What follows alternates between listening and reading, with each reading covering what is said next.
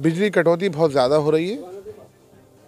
भीषण गर्मी है और बारिश का मौसम भी है, लेकिन उसके बाद भी लगातार कटौती कटौती कटौती। कटौती रुकने का नाम नहीं ले रही है।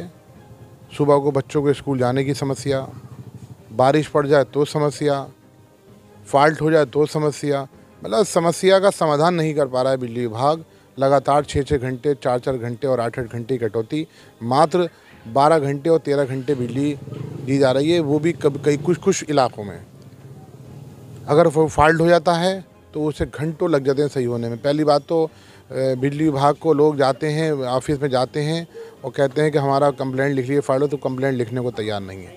अगर लिख भी लेते हैं तो फॉल्ट घंटों घंटों में सही करते हैं। मतलब जानबूझ के परेशानी, अगर रात को कोई कोई किसी की बिजली ख़राब हो गई ग्यारह बजे तो वो रात भर ही ख़राब रहेगी। अगर वो ग्यारह बजे कंप्लेंट कराने जाएगा तो उसकी कंप्लेंट लिख भी लेंगे तो कहेंगे सुबह को होगी।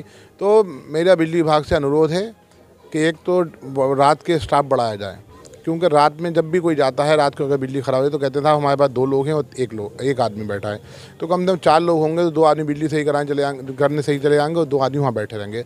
तो मेरी मांग है बिजली विभाग से, बिजली व्यवस्था बिल्कुल सही कराया जाए। बिजली और चेकिंग का ये है कि चेकिंग के नाम पर परेशान करना।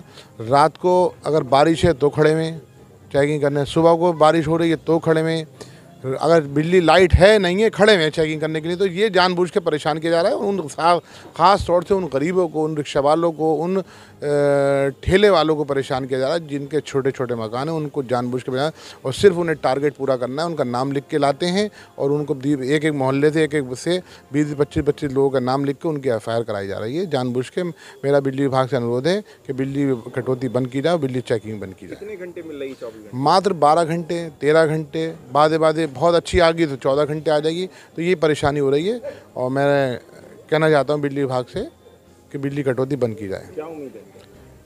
देखिए उम्मीद पे तो दुनिया कायम है। उम्मीद है हमें भी कि ये बिजली विभाग जनता के साथ ज़्यादती शायद ना करे और करना भी नहीं चाहिए क्योंकि जनता बिल भी दे रही है। अगर बिल नहीं दे रहे हैं तो फ़ौर मीटर मीटर लेके जाते हैं। मीटर लेके नहीं जाएँगे तो लाइन काट जाते हैं। तो जनता का तो हक छीना जा रहा है। तो मेरी मांग है बिजली विभाग से कि जनता को परेशान ना किया जाए।